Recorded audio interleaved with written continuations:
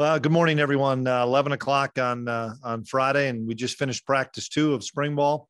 Uh, second uh, non-padded day. You have to have two uh, to start with, with just helmets and and shorts. So we were able to get those done on Wednesday and Friday. A lot of energy, excitement out there. guys flying around, um, good communication, great bunch of of guys out there to work with, and um, and just excited about being back on the field. they'll have the weekend off, and then Monday will be a full padded practice and we kind of roll from there. So I know you guys have a lot of questions. So let's get to those. Start here with John Kurtz. Yeah, hey Chris, just wanted to ask about Skylar. Skylar, an update on just what he's able to do this spring. I know I saw the picture of him; looked like he was maybe throwing it a little bit, but what uh, what's he able to do? Yeah, we got some great news on Skylar. Uh, Monday before spring ball started, uh, he was cleared for uh, normal activity, uh, no tackling, contact. We will have him do uh, all of our seven on seven stuff, all of our one on one stuff. He's practicing uh, every day. He won't be in many team settings. He'll get into a few team settings that are non contact team settings, but uh, I'm excited for him because he's able to throw to moving targets. Uh, this spring. And, and prior to that, we didn't think that was going to happen. And so, uh, great news for Skylar and great news for for our football team. I know it's really early, probably unfair even to ask this, but behind him, the the battle for his backup job, how how tight does that appear to be, and what what kinds of things will you be looking for there? Well, uh, you know, you have uh, Will Howard that played uh, really good football and and played a number of games, and so we're excited to have Will back, and you can tell uh, how much uh, the weight rooms helped Will. And then, uh, be, you know, between Jaron and, and Max and, and Jake, we have some young guys. Uh, Jaron's now kind of getting to be an older guy that I'm excited about the competition. And uh, uh, we feel really good about the depth we have at quarterback, and we'll see how it plays out. Appreciate it, Chris. Thanks. You bet. Kellis. Hey, Chris. Good to see you again. Um, good to see you, Kellis. No, no spring ball last year was kind of an albatross for you and everybody. I'm just wondering, does that make you change the way you approach things this time around, knowing that you didn't get it last time, and maybe you're more fired up to get get something special out of it? I think everybody's more fired up, Kellis. I, coaches and, and players, and uh, there's great excitement. It's uh, it's so much fun to be out there with the guys. They're excited to be out there. You know, we go in the mornings, as you guys know, and so our kids are at the facility before 6 a.m. We have quick meetings. We have uh, a quick continental breakfast. We're out hitting the practice field by 7:15, and first whistle blows about 7:30, and, and we're going for a little over two hours. And um, once again, we've had two uh, helmet practices that have been really good. Guys have been excited, but uh, uh you can tell, uh, you know, you, the energy because you missed the entire uh, winter and spring last year. So it's a lot of fun to be out there with the guys on, on Skylar, what what's his pass look like right now? Excuse me. On, on Skylar, how how are his throws looking right now? Oh, it, it looks sharp. I mean, uh, popping out of his hand, and um, you'd have never thought he was even injured, to be honest with you. And I also want to ask about your new strength coach. What drew you to, to Coach True during the process, and why are you so high on him? Well, you guys will get a chance here in about uh, 20 minutes or half an hour to to see what what I saw in his interview and uh, uh, the energy, the enthusiasm, uh, the love for the players, uh, the passion for for what he does is uh, in his professional strength and conditioning. Um, man, it, it, kids just gravitate to him, and he did a dynamite job at his interview. Um, he's had prior working relationships with three of our coaches and, and Coach Wyatt and, and Coach Malone at SMU, which a lot a lot of you guys know, uh, but then also Coach Ray at Oklahoma State. So um, he's familiar with our with our some of our coaches, which has enabled him to get in uh, with his feet running. And, and, I'm excited because he's just got great energy and and uh, just I can see the way the guys have taken to him. Thanks, Chris. Go ahead, Derek. Yeah, coach, when you're looking for a new strength coach, did you put more emphasis on how they can maximize performance or someone that can really set the culture that you want in your program? I think it's everything, Derek. Um, obviously, you want somebody that that is uh, skilled at his craft. Uh, you want somebody that can build relationships. You want somebody that can challenge uh, you as coaches and and challenge the team. Uh, and you and you want somebody that can do a great job of building individual relationships. And uh, I think I know that that's what we have in True. And uh, I'm I'm excited because just we've only had True for about a week, but you um, see the kids come out of the weight room, see them going in the weight room, the excitement that the guys have. See, you know, everything's just fresh. Everything's a little bit new, and um, that doesn't mean what we did before was any was poor at all. Coach Dawson was phenomenal here for more than a decade. Uh, but it, you know, sometimes when you have that new uh, newness to things, kids are, are excited about that, and um, I can't wait for you guys to meet him.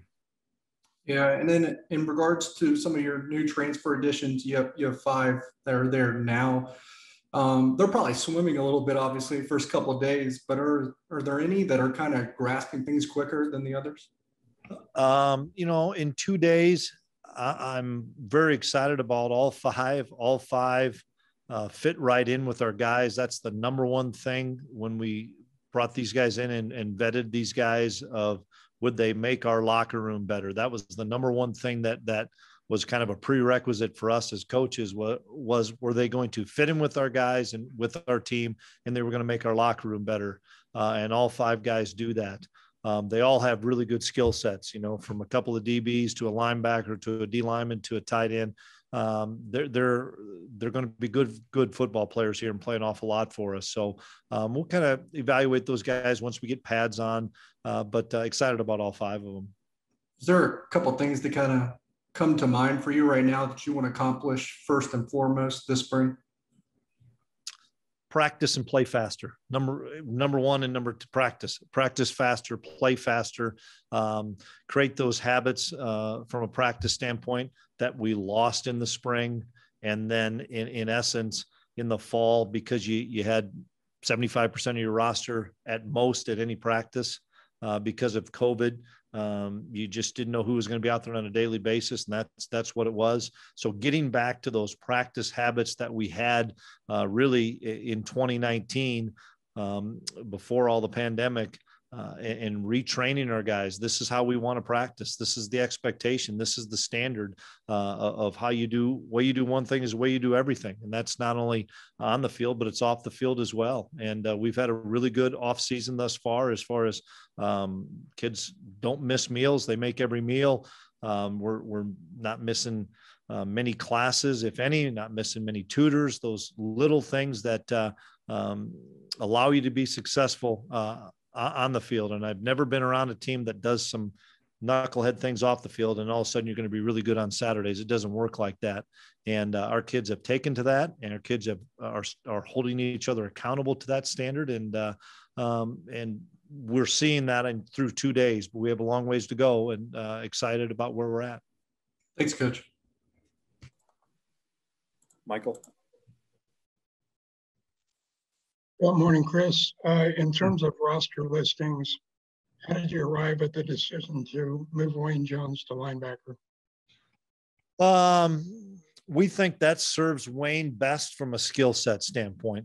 And um, Wayne is a much more efficient in the box player than he is um, playing what we would call top down from a safety down. And so we we had long conversations as a staff about that. And it wasn't a knee jerk reaction. It was long conversations of with we know Wayne's a really good football player. Now where can we best utilize his skill set? And uh, uh, the more we looked and the more we watched uh, his film over the last two years, uh, when Wayne was playing really well, he was closer to the line of scrimmage. And so uh, it became a pretty simple thing for us of let's put a kid in a position where he can be successful and closer to the line of scrimmage is where Wayne needs to be. What way would you like to see him play at, and how does that contribute to the depth that you have at that position? Contributes greatly to the depth uh, we have at, at linebacker, and we we'd like to see Wayne probably in that between 207 and 212 range. We want him to keep his speed and his quickness. And um, he's close to that. He's probably 207, 208 right now, and he could probably handle a few more pounds, but I don't want him to lose his speed and quickness. And, and in the Big 12, with people spreading you out so much, it's not like you have to be a 225 pound kid to play uh, linebacker. You need to be able to run sideline to sideline and be able to tackle. And so um, it, it, adds depth. Uh, it adds a, a, guy that's had valuable starting experience uh, to go along with somebody like Daniel Green that's had valuable experience, and Cody Fletcher, who's got valuable experience, and we have some uh, younger players as well as Eric Munoz, who we brought in from a transfer standpoint. That you guys know that watched us last year when when COVID hit us, we took two linebackers to two straight road games, and that's all we had was two linebackers going to two straight road games, and one of them we had to play 90 snaps. It's hard to hold up, and so we we need the depth there. Thanks, Chris. Fitz. Go ahead, Fitz.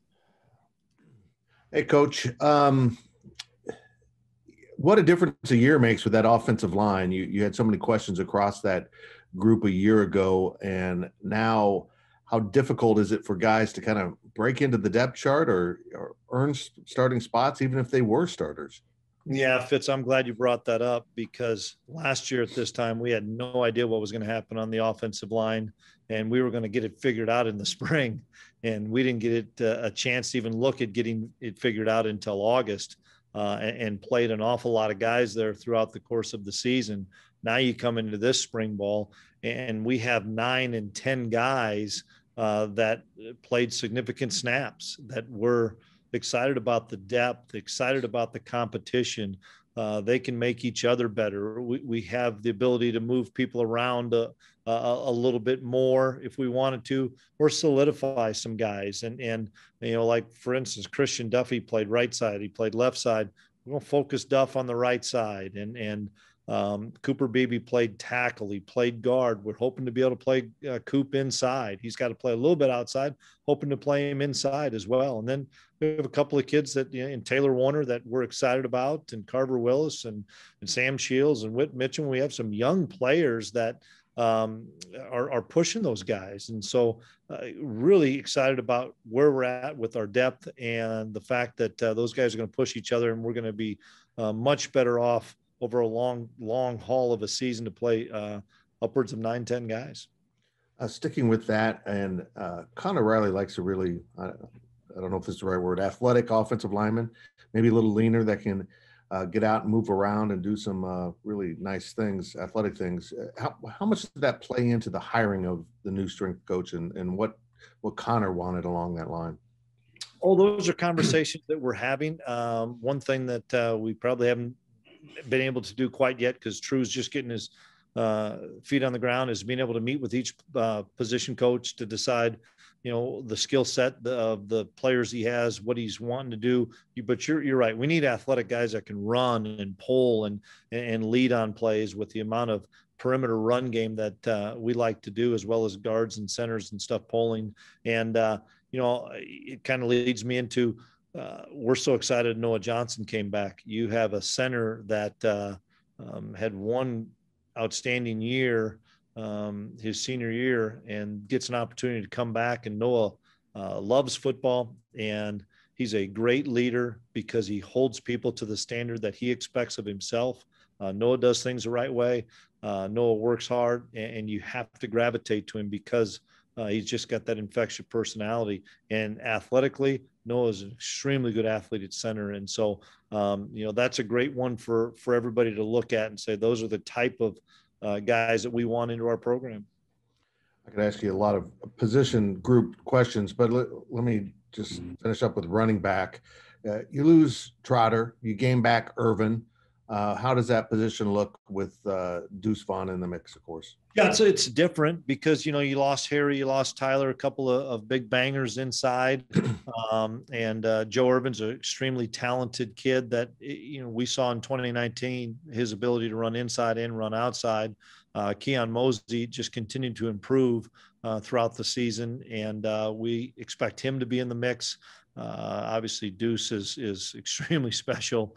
Uh, and then uh, it, I'm excited to see where, what happens with Jacardia and Clyde. They they both have the ability, um, and uh, they just have to put it all together uh, and have consistent days and consistent practices so that we can count on those guys. And uh, we have uh, a number of, uh, of people there. We just got to see how the depth chart uh, shakes out a little bit through the spring.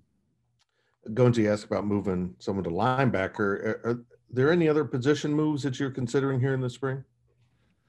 You know, no. The only other guy that that when you talk about Wayne uh, we also made the the wholesale change to to have Ryan Hennington Yeah. play linebacker. You know, he started as a quarterback, moved over to safety last year, and now we're going to have him play linebacker. And and we did that for the same reason with Wayne. Uh, there are guys that played safety that in the Big 12 you need uh, linebackers that can really run, that are 210, 215 pound guys that uh, uh, can cover and run sideline to sideline. And so Henny will even provide more uh, depth there uh, on special teams and at linebacker. But uh, I can't think off the top of my head any other position changes that we had. Okay, thanks, coach. You bet. Got uh, three hands raised. We'll finish off with those, starting with Jackson. Hey, Coach. I just wanted to ask you first off about uh, Damian Ilalio of Manhattan coming to K State, and he just won a state wrestling title. I just wanted to know your thoughts on getting a local kid and what he's going to bring, uh, not just at his position, but just as a competitive player overall. Well, you hit it on the head, competitor. Uh, I was able to watch Damien play a, a lot at Manhattan High because my son plays there this year, and I saw him come every Friday night and compete uh, and, and play really well and play physical, play in and play out. And Damien never takes plays off, and you can you now you you can see why with the wrestling background. And so happy and so proud of him for uh, winning state and and um, having to fight through some adversity and being able to get that done. And he did that. And um, uh, Damien's going to have a, a, a tremendous career here. Uh, it's always hard as a, as a as a young player, as a true freshman, to come in uh, and have an immediate impact, maybe on the field, but he'll have an immediate impact on our football team in, in just how hard he works, the, his competitive nature, uh, and, and we're counting on him being one of the leaders of that freshman class. And then I just wanted your thoughts on the wide receivers and how they've developed over the last, in you know, a couple of months of the offseason and then now early uh, through spring. Yeah, uh, Philip Brooks, Malik Knowles, go without saying, those two kids have played a lot of football, have had really good off seasons. Um, Sebastian's still recovering um, from off-season in, uh, injury, so he'll be held out of spring ball. Uh, I'm I'm excited to see uh, a, a young man like Keenan Garber uh, step up uh, into a different and new role that that he has and uh, Keenan has tremendous speed, and it's the game is starting to slow down for him. And uh, I've seen some really good things out of him uh, the first couple practices. Then we have some younger players that uh, um, we're excited about, and and we'll see how they you know progress during spring. But uh, we feel that uh, we have some good depth there. And then la- last one for me, the opportunity to play on such a big scale to open your season uh, down in Dallas against Stanford. I just wanted to know maybe uh, if that was just an extra motivator for the guys to start off the season, if that's already something that you've talked about, or how, how uh, the program's looking at that opportunity.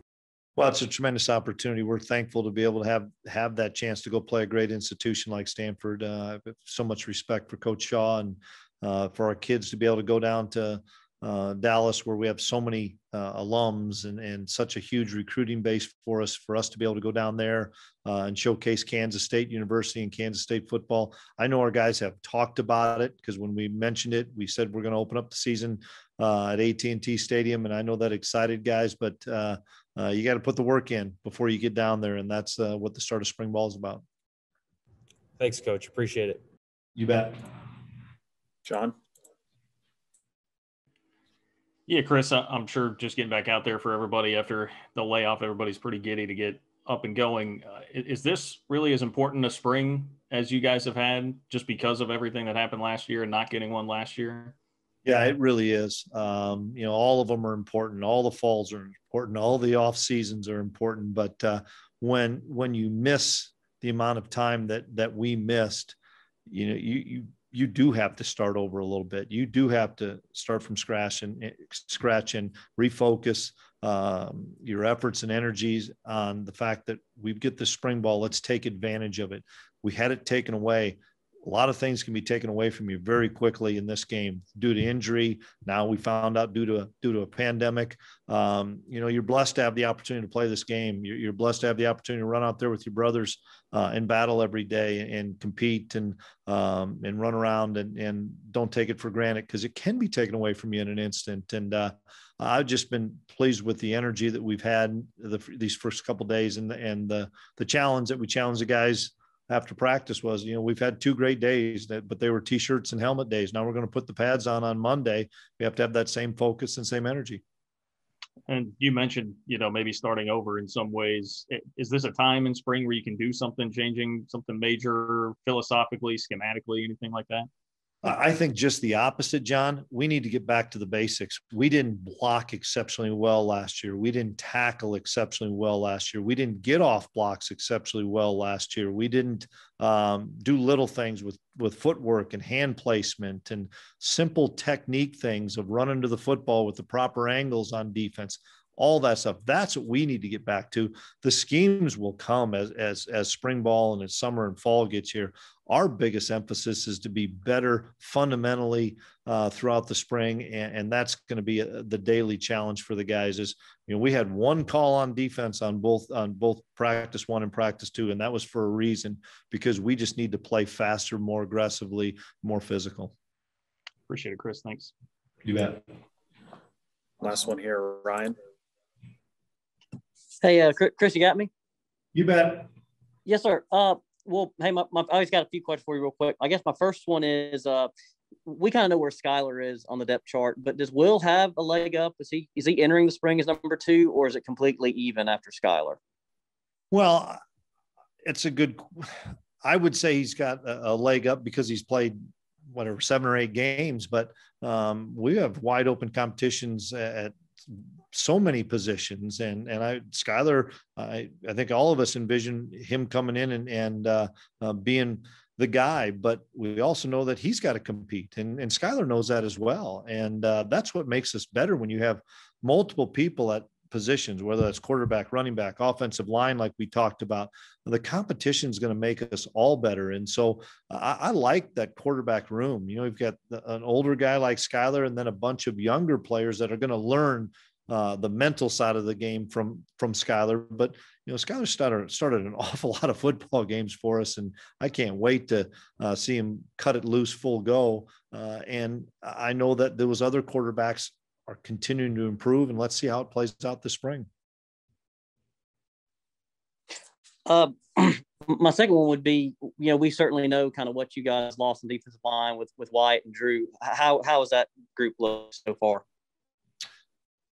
we have depth and uh, we have competition. Uh, Tyrone Taleni has put on some great strength and and uh, some weight, and um, Cortez uh, has put on some great weight and strength. And Eli Huggins, I think, is uh, ready to, to be that difference maker player. Um, Jalen Pickles continued to improve. We have a lot of young defensive ends that that nobody knows about because Wyatt took the lion's share of the of the reps. But you know Felix Anudike and Nate Matlack and um, Brendan Mott and and uh, we have so many young players that uh, we're excited about uh, those guys because they've put on 15 to 25 pounds over the last year to get into that mode to be ready to play in the Big 12. And so uh, I like the depth we have in there. Do we have a Wyatt or a Drew right now from a difference maker standpoint? Uh, time will tell, uh, but we have uh, a lot more versatility in there with the amount of guys.